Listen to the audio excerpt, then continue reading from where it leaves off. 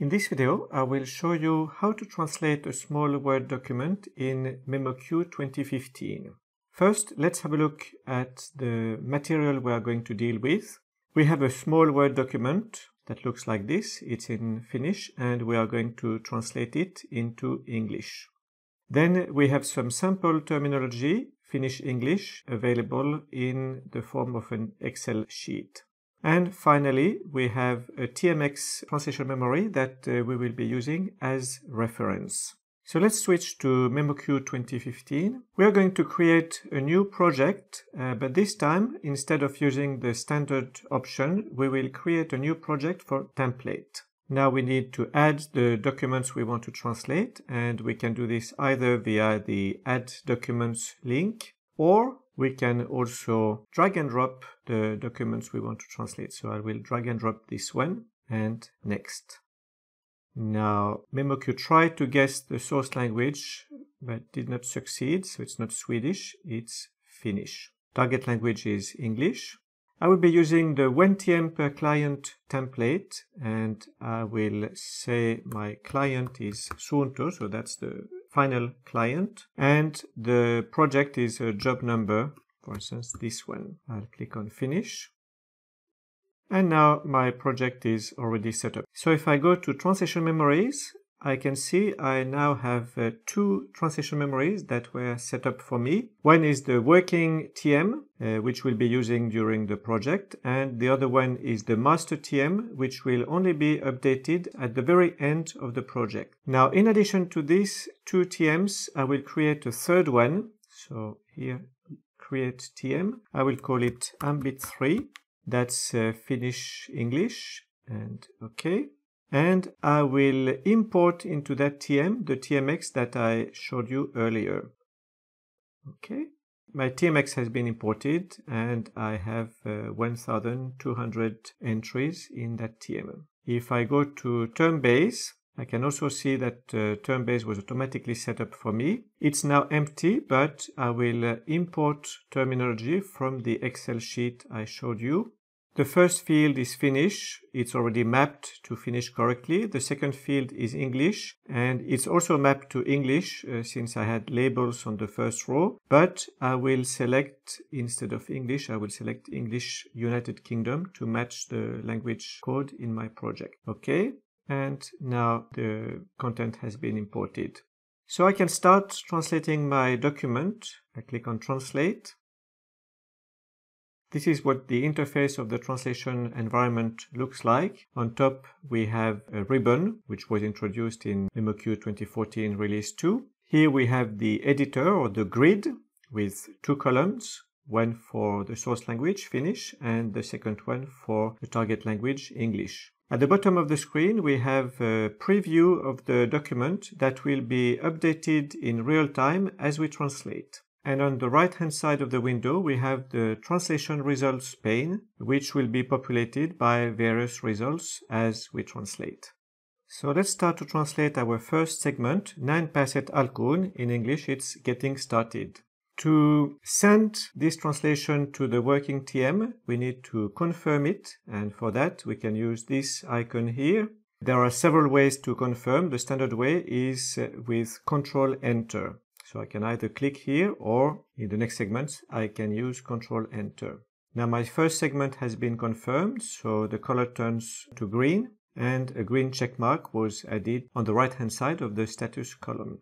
Now we are in segment number two and here we have two words that were recognized as belonging to the term base. The first one is uh, painike, so it's uh, both highlighted in the left hand side column and it's also listed in the translation results pane.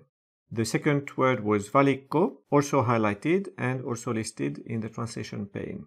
With these two words, the fragment assembly feature of MemoQ added a third entry in the translation results. That's painikkeet ja valikot, and there is a translation in English. So it's a kind of uh, poor man's machine translation, if you want. And uh, that assembled segment was automatically inserted into the target column. So I need to make a few changes. First, Painikkeet, that's the plural form in uh, Finnish and same with Valikko. So I need to put the plural in English. So that's bottoms and menus. And ya in English, it's end. So now my translation is ready. I can confirm it with Control Enter. Now I have some more translation results in the translation results pane. The colors indicate what is the origin of these results. So the red one originates from my reference TM.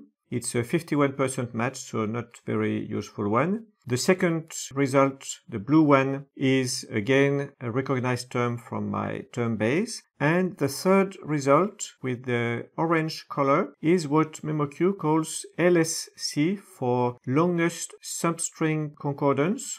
So every time you open a new segment, MemoQ performs automatically a concordance search and tries to find the longest string in the selected TMs. So here we have uh, this string of uh, four words, suunto ambit 3 peak laitteessa. And uh, we can have a look by right clicking and selecting concordance. We can see that indeed this string occurs three times in our reference TM. I won't be using it now, so I will just uh, enter my translation directly and I can confirm the segment with Control Enter. Now again, I have an assembled segment in which I only need to change this word here. So here to access it in English, it's access the. I can confirm this segment. And as I confirm segment number four, segment number six, which was identical, was automatically populated. So that's the consequence of the auto propagation feature of MemoQ and it's also indicated by a green arrow in the auto-propagated segment. Now I need to enter the translation for segment number 5. There are two recognized terms, so there are several possibilities to enter them. The first one is to press Ctrl and the number displayed in the translation results pane. So for instance, Paina in English, press 2, it's number 1. So I can press Ctrl 1 and that will automatically insert the English translation. The second possibility is to use predictive typing. So if I start typing P, MemoQ will automatically suggest the rest. I can confirm it with enter.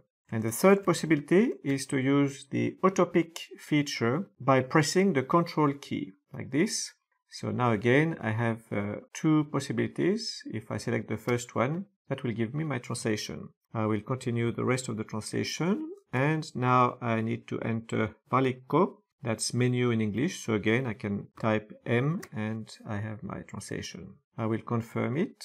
Control Enter. This one is already translated, was auto-propagated. And now I have a 61% match that was inserted. It's not very useful, so I will select it with Control A, delete it, and instead I will enter my own translation. So Paina, that's result number six. I can press Control 6. I can continue with my translation. And here I have a word, taustavalo, that I want to search in my active TMs. And for that I can use the concordance search feature. So here I have concordance, which is uh, Control K.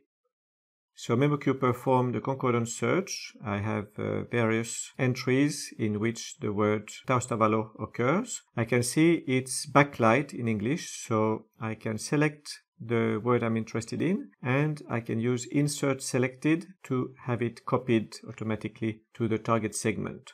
And now if I want to add this uh, term pair, Taustavalo and backlight, I can do this with the add term function, Control E.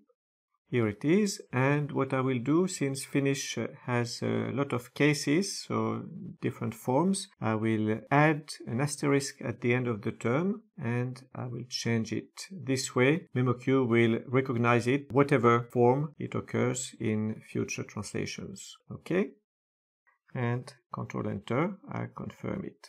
Now I have um, 52% fuzzy match that I can use as the basis of my new translation. So I will copy it with Control 1. And I can see the differences compared to the previous translation. So previously we had uh, suurentaksesi, now we have pienentaksesi. So instead of increase in English, I need to enter decrease. And previously we had uh, which was up. Now we have alaspäin, which is down. So I have to change this word here, down and I will confirm my segment. Now I have a recognized term, pidäpainettuna, that's key press 2, so control 1, and I'll enter the rest of my translation. And here the end of the sentence is in italic, so I can highlight this portion of text and I can either use the icon on the ribbon here or press Ctrl I like in Microsoft Word. I'll confirm the segment and now I'm ready. And as you could see, the preview was updated each time we entered a new segment.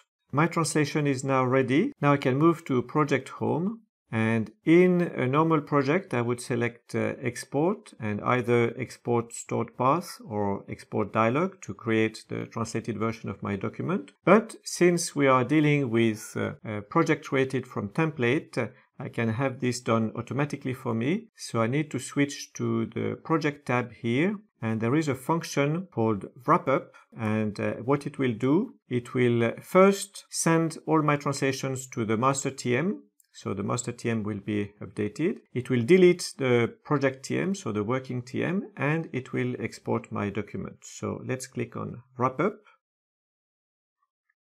now MemoQ is performing its magic. If I go to translation memories, I can see that I only have the master TM left and of course the reference TM is still there, but my project TM that was created only for the need of the project was deleted. And if I move to my folder, I can see here I have the translated version of the document. If I open it, well, it looks okay, everything is in English and uh, has the proper formatting. So there you have it, how to translate a small Word document in MemoQ 2015 using project templates. Thank you for watching and see you in the next video.